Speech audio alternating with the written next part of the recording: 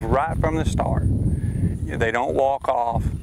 They lick that calf, they attend that calf, they nurse that calf.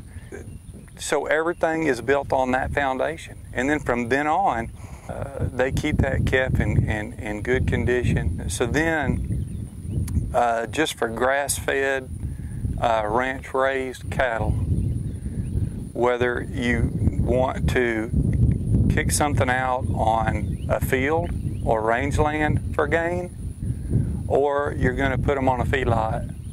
They're going to con consume properly, they're going to add on pounds, and they have the frame size to put it on. And for me, uh, from, from all of those things, from their birth to your choice of what you're going to do with the calf, uh, all the options are on the table.